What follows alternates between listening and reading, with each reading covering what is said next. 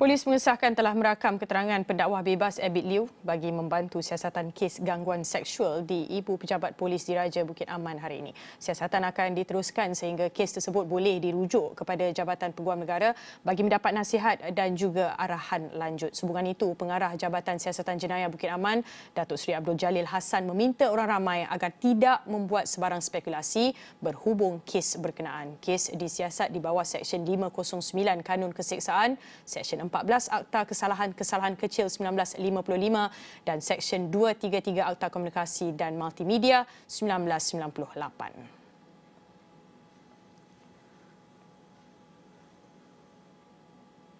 Dalam pada itu, ini reaksi Abid Liu ketika ditemui selepas selesai memberi keterangan.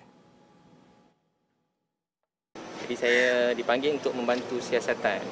Jadi sebagai saksi jugalah atas ada tuduhan yang ialah yang apa gosip-gosip kat luar sana. Itu saya membantu siasatan dan terserah pada pihak polis dan sepenuhnya saya memang uh, satu fitnah yang sangat kejam dan melampau. Tapi ialah cari apa aja dan insyaallah saya serahkan semua kepada pihak polis insyaallah. Jadi saya selalu cakap kat mana-mana dan pelajaran untuk saya saya percaya hidup ni cuma satu tujuan dia untuk Allah sayang. Jadi saya anggap dia uh, saya maafkan siapa saja yang mungkin saja yang terjadi kat luar sana mungkin boleh menilai sendiri.